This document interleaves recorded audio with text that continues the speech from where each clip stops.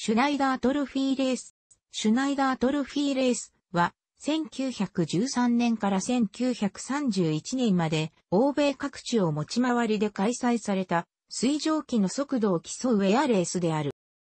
正式名称は、クーペティ、アビエーションマリタイムジョックシュネデール、クプダビアシオンマリティムジャックシュナイダー。フランスの富豪、ジャックシュナイダーは、世界の各都市を結ぶ航空機の主流は、広大な滑走路を使用せずとも、湖水や河川から離着水できる水蒸気であると考え、航空技術の発達のため、水蒸気のスピードレースを主催した。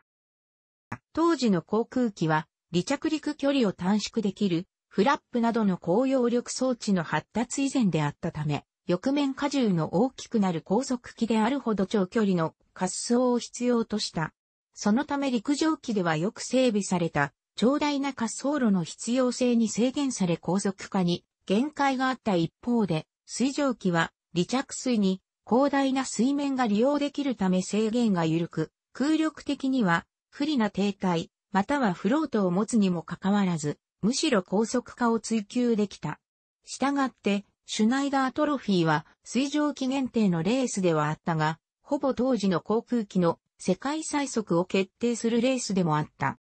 優勝した国が次の大会を開催し、5年の間に3回、優勝した時点でレースを終了し、トロフィーは、その優勝国が永久に保有するとされた。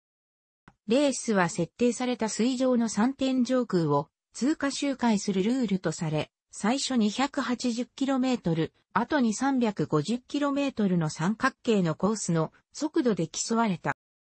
第1回大会は1913年に開始されたが、レースが本格化したのは第一次世界大戦後の1919年からである。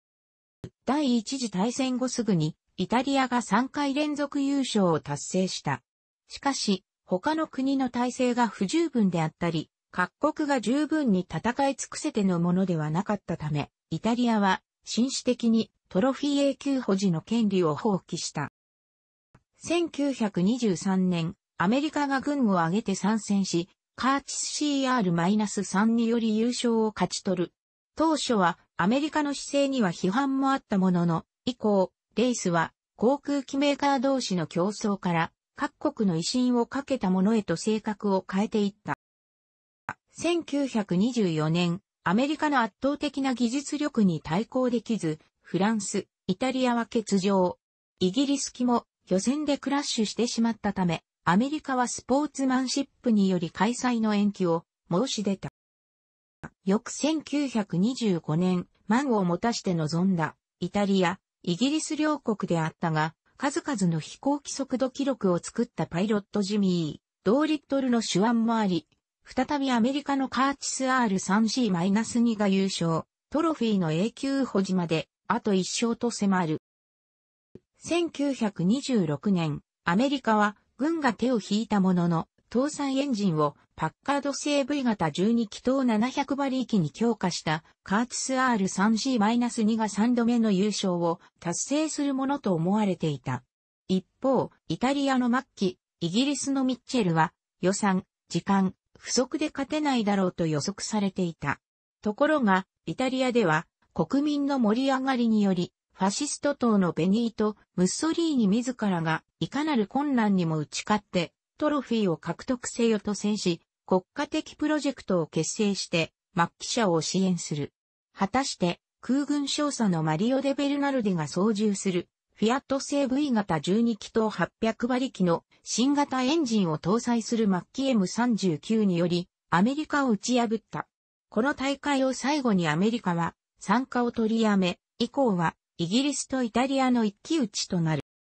1927年、イギリスが後に戦闘機スピットファイアを設計したことで知られる、レジナルド・ジョセフ・ミッチェルの設計によるスーパーマリン S5 で優勝。以降、より多くの開発期間を取れる、要各年開催となる。主催者であったシュナイダーは、戦争で資産を失い、1928年、貧困のうちに死去した。1929年、イギリスは V 型12気筒ロールスロイス製 R 型エンジンを搭載した S6 で再び優勝。1931年、2勝していたイギリスは S6 を改良し、合成燃料などの工夫で出力を強化した R 型エンジンを搭載したスーパーマリン S6 バイトで参戦。実は1931年1月、王立航空クラブ、略称、レイクは王室空軍や英国政府に資金要請をするも却下されていた。しかし、国民世論の高まりにより、船舶業有力者の未亡人が10万ポンドをスーパーマン社に寄付した上に、タイムズ紙で、請求書はすべて私のところに持ってきなさいと訴える。これにより、メディアが国民側に立った。対するイタリア側は二重反転プロペラを装備し、世界最速を歌っていた、現在に至るまで、レシプロ水蒸気としては、史上最速の末期 MC72 で参戦。しかし、MC72 はエンジン調整に手間取り、参加できず、結果、A 空軍注意、J、N、ブースマンが操縦するが優勝。これにより、イギリスが3大会連続優勝し、シュナイダートロフィーを獲得することとなった。この最後の大会には実に50万人の観客が詰めかけた。日本でも航空雑誌がその様子を記述していたほか、子供の科学でも記述され、子供たちに夢を与えた。これらを読んだ後、日本の航空産業を担った航空技術者も多い。航空雑誌、シュナイダー、ネコパブリッシング館、1998年創刊、休刊中の使命は、このレースから取られた。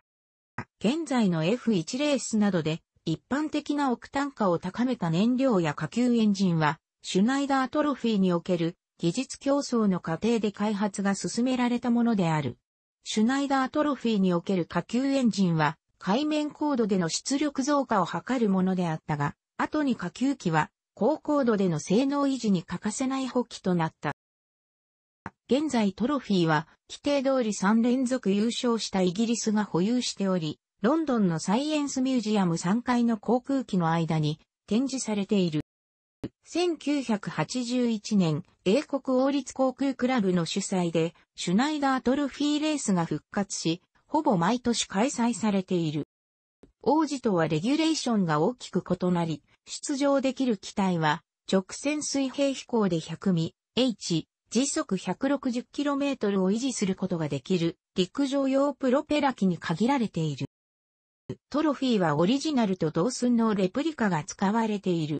楽しくご覧になりましたら、購読と良いです。クリックしてください。